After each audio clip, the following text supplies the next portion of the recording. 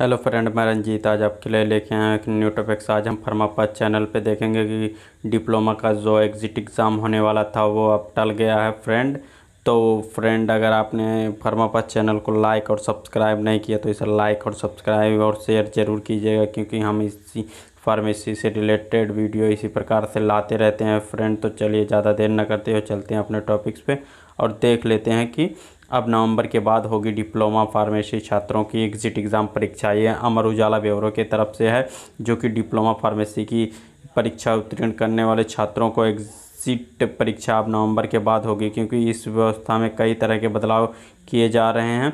Exit परीक्षा में अभी तक तीन प्रश्न पत्र होने थे, लेकिन अब एक ही प्रश्न पत्र होगा। फ्रेंड, जो नौ अगस्त में होने वाला कंडक्ट कराया जाना था, वो नवंबर में हो गया है। और साथ ही साथ जो तीन एग्ज़ाम देने थे प्रीमेंस के अकॉर्डिंग तो अब केवल एक ही फाइनल एग्ज़ाम देना रहेगा। डिप्लोमा फार्मेसी की परीक्षा पास करने के बाद सभी छात्रों को नवंबर तक एग्ज़िट एग्ज़ाम परीक्षा कराने की तैयारी थी।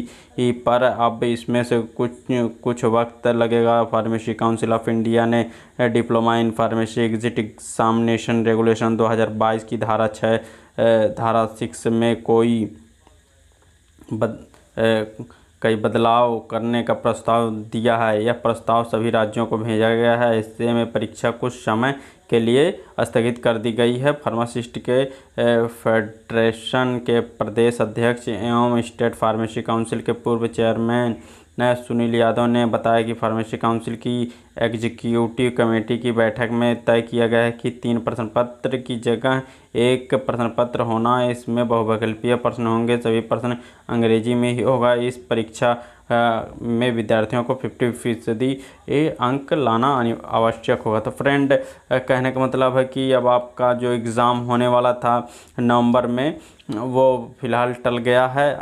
आपको और भी अवसर मिल चुका है कि आप पढ़ाई अच्छे से कर सकें।